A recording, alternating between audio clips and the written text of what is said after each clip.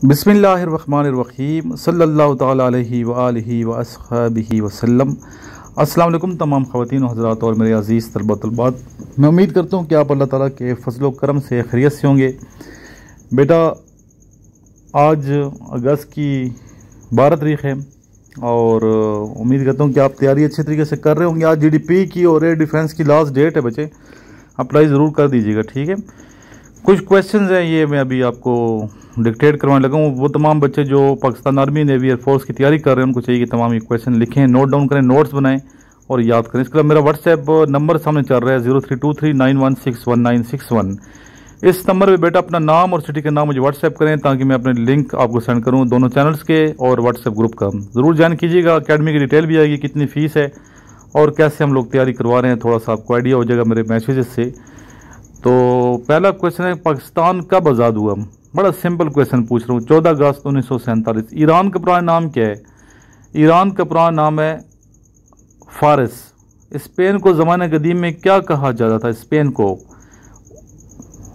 उंदलस कहा जाता उंदलस के फाते का नाम तारिक बिन ज़ियाद। लीबिया पहले किस नाम से पहचाना जाता? लीबिया। लीबिया पहले नाम था त्राबलस। इराक का पुराना नाम मेसोपोटीमिया। चाइना का पुराना नाम चिंको और केथे कैमिट किस मुल्क का कदीम नाम है? कैमिट कैमिट मिस्र का। अफ़गानिस्तान के पुराने नाम है अरियाना डिच ऑफ़ इंडीज़, किस मुल्क को कहा जाता है? इंडोनेशिया को। ठीक है, ये ममालिक के बारे से कुछ थोड़ा सा मैं आपको नॉलेज दे रहा हूँ। स्विट्ज़रलैंड का कदीम नाम क्या है? स्विट्ज़रलैंड का। स्विट्ज़रलैंड का कदीम नाम है हिलो लीशिया हबशा किस मुल्क का कदीम नाम है? इथोपिया का। जापान का कदीम नाम जिपांगो दुनिया की सबसे बड़ी सुरंग किस मुल्क में है रशिया में। दुनिया का अमीर तरीन मुल्क कौन सा है? कुवैत। अमीर तरीन मुल्क कुवैत है, ठीक है? रूस में कितनी ज़बानें बोली जाती हैं? रशिया में टोटल ज़बानें बोली जाती हैं। 161 ऐसा कौन सा मुल्क है जिसने फ़िल्म साजी का आगाज़ नहीं किया? भूटान। भूटान ने फ़िल्म साजी का आगाज़ नहीं किया। दुनिया में सबसे ज़्यादा नमक कहाँ पाया जाता है? पाकिस्तान। माशाल्लाह, पाकिस्तान में क्या कुछ नहीं, अल्हम्दुलिल्लाह, समंदर हैं दरिया हैं, मौसम है, हर किस्म का फल है।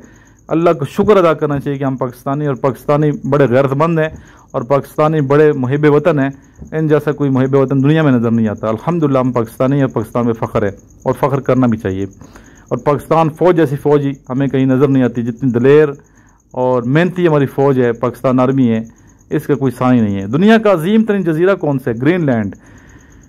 अच्छा नेक्स्ट बताएँ, पाकिस्तान अकवा मुतहदा का रुकन कब बना? बहुत अहम क्वेश्चन है बेटा ये। बार बार आता है। तीस सितंबर उन्नीस सौ सैंतालीस को। पाकिस्तान का नाम किसने तजवीज़ किया? चौधरी रहमत अली ने उन्नीस सौ तैंतीस में पाकिस्तान का नाम तजवीज़ किया। दुनिया का सबसे बड़ा घंटा घर कहाँ है? रशिया के शहर मास्को में सबसे बड़ा घंटा घर है। दर बुलान की बुलंदी और जाए वकू बताइए। बुलंदी 2500 फुट है, ये कोटा और अफ़गानिस्तान के दरमियान वाक़ है।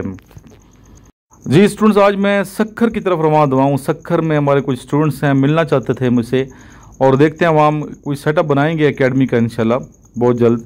तो सखर के स्टूडेंट्स हैं, जैकबाबाद के गोटकी के, मुझसे मुलाकात कर सकते हैं, सैटरडे को मेरे से मुलाकात कर सकते हैं। ठीक है, आज मैं उधर पहुँचूँगा इन ताला। तो आप लोग फिर कल मेरे से मिलिएगा इन ताला। हफ़्ते को मेरे से आप लोग मुलाकात कीजिएगा। मेरे नंबर पर आप रब्ता करें और फिर डिटेल बताई जाएगी कहाँ आपने मेरे से मिलना है, आपको लेक्चर भी दूँगा और आपकी वीडियो भी इंशाल्लाह रिकॉर्ड की जाएगी। नेक्स्ट क्वेश्चन है, अगर आप शायरी से शगफ रखते हैं तो आपसे पूछ सकते हैं कि तनहा तनहा किन का शरी मजमू है? तनहा तनहा शरी मजमू है। मेरे टीचर थे अहमद फराज अहमद फराज। उनका ये शरी मजमू है, तनहा तना और अहमद फराज की कब्र जो है, ये इस्लामाबाद के कब्रिस्तान में वाक़ है। परवीन शाकर की कब्र भी साथ ही है। बहुत अच्छे शायर थे। अहमद फराज पेशावर यूनिवर्सिटी में प्रोफेसर भी थे, लेक्चरार थे और काफ़ी अच्छे इंसान थे ये। इनके कुछ शेर में आपको सुना देता हूँ, तनहा तनहा में से, जो यकीन आपको पसंद आएँगे। अब दिल पे जो गुजरेगी, वो बेटोक कहूँगा। अब दिल पे जो गुजरेगी, वो बेटोक कहूँगा। अब मेरे कलम में कोई जंजीर नहीं है। हम हैं कि फ़रेब खा रहे हैं, इनके गज़ल का शेर है। पहले मैं नज़म का सुना अभी मैं आपको इनकी गज़ल का शेर सुना रहा हूँ। हम हैं कि फ़रेब खा रहे हैं, दुनिया है कि चाल चल रही है।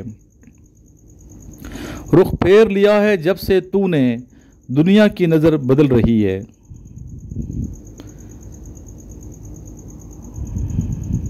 दरपेश है आज भी वो सूरत, जो सूरत हाल कल रही है। इतनी भी फ्राज बदली क्या? समलों की फ़िज़ा बदल रही है।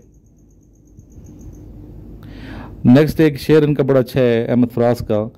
हम खुद ही हुए तबाह वरना। हम खुद ही हुए तबाह वरना। दुनिया को हमारी क्या पड़ी थी? ये ज़ख्म है उन दिनों की यादें जब आपसे दोस्ती पड़ी थी। मैंने लिखे हुए थे पुराने जब मैं पढ़ रहा था यूनिवर्सिटी या पिशावर में। उस वक्त की लिखी हुई याद की तहरीरें हैं ये, और अभी तक ये महफूज रखी हुई मैंने। तेरा एहसान है तूने मेरे लिए, अपनी पलकों से राहों के कांटे चुने। खुद कड़ी धूप में रह के मेरे लिए, तूने जुल्फ़ों के शादाब साए बुने। मेरी खातिर ज़माने को पागल कहा, मेरी खातिर ज़माने के ताने सुने। तुम्हें ज़िंदगी है मगर जाने मन अब वो इश्क को मोहब्बत की रस्में नहीं। मेरे दिल में कई गौ ऐसे भी हैं, जिनका दरमा तेरी दस्तरस में नहीं। एक गम जिसकी शिद्दत हमा गिर है, तेरे बस में नहीं, मेरे बस में नहीं। यानी कि नज़म के कुछ शेर मैंने सुना है इनके नज़म गुनमानदा मसीहा। तो अच्छे शायर थे अहमद फराज, इनकी शायरी हमेशा याद रखी जाएगी। लास्ट में दरूशी पढ़ लें। जज़ल्लाहु अन्ना सैदना मोहम्मद वसल्लम बिमा हुआ आहलू वीडियो को आगे शेयर ज़रूर कीजिएगा। Thank you very much